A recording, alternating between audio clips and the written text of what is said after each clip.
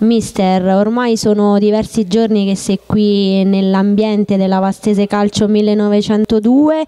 Qual è stata la prima cosa e il primo concetto che tu hai voluto far arrivare fortemente alla squadra? Beh, il concetto è sempre quello un po' del calcio moderno, bisogna un po' giocare le partite a ritmo, a ritmo cercare di, di, di giocare di squadra di squadra e dare continuità anche nella prestazione per, per arrivare alla vittoria. Questo è sempre avere mentalità avere mentalità e voglia di arrivare alla vittoria.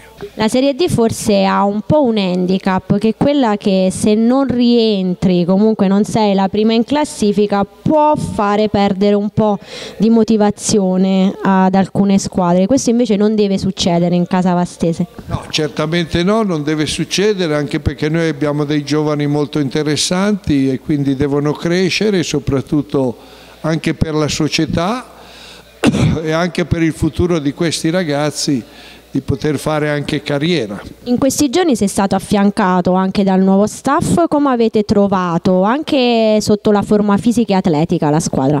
Beh, abbastanza bene, comunque erano avanti di campionato, di prestazioni e quindi bene, dopo ognuno ha le proprie metodiche, noi adesso lavoreremo su alcuni concetti e speriamo, speriamo di fare bene.